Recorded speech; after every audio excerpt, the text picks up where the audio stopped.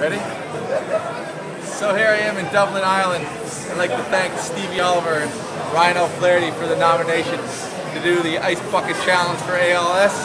Incredibly, I found a distant relative of both those amazing guys to help out with the challenge. We got my buddy Hugo. He's gonna help finish the task here. So whenever you're ready, Hugo, you gotta hit me with it. Just hit me with it. Yep.